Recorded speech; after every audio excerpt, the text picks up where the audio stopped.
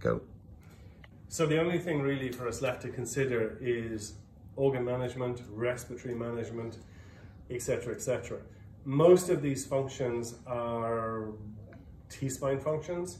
So I'm going to take the mask off for this so that you can see what I'm actually doing. So let's say we were going to treat somebody with an asthma condition.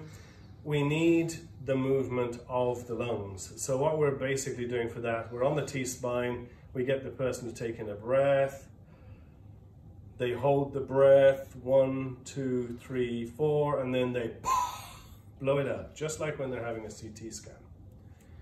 If we're gonna work on something for stomach, we're gonna get people to pull their stomachs really in, tight, and crunch, and then back stretch and release.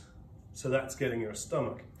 If we want to start doing liver function issues, you're going to strengthen your core and lean to the left and lean to the right. This is because you're getting those sections to move. If it's bowel issues, again, we're on the T-spine, top of L. You're going to pull in specifically your lower abdomen. And then what you're going to try and do is keep your the patient's pelvis square and stretch the intestines. And basically that's it.